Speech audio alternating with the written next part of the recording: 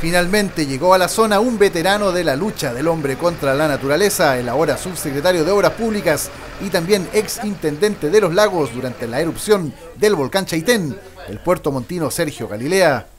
En su visita a la zona más afectada por la erupción del volcán Calbuco, Galilea supervisó las labores de despeje de caminos a cargo de su ministerio, valorando la tarea desempeñada hasta ahora. Quiero destacar,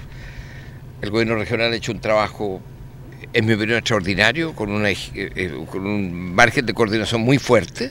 Acá mismo en Ensenada uno no sabe qué hace el MOP, qué hace el Ministerio de, Agricultura, Turismo o el Servio. Y eso, eso solo se consigue,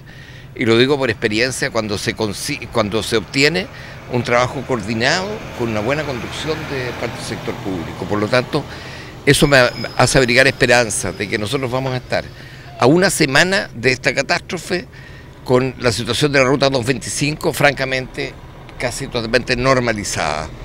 Otro hito importante de la jornada fue la instalación de oficinas provisionales de gobierno en plena zona de emergencia, con dependencias tanto en la zona de Correntoso como en la misma localidad de Ensenada. Este va a ser un punto operativo en el que las personas se van a encontrar eh, a representantes del gobierno regional. También esperamos poder ir sumando a representantes de cada una de las áreas que están actuando en el territorio, de eh, agricultura, de economía, de trabajo, ¿no es verdad? Y obviamente obras públicas eh, que va a estar aquí a un costado nuestro con su equipo operativo instalado y de esa manera entonces poder por una parte, absorber la mayor cantidad de requerimientos de las personas que están circulando en torno a las labores que aquí se desarrollan y por otra parte poder informarles también respecto a cómo se van implementando los distintos planes para rehabilitar Ensenada a la brevedad posible, que es el gran objetivo que tenemos por delante, tal como lo ha señalado el subsecretario Galilea.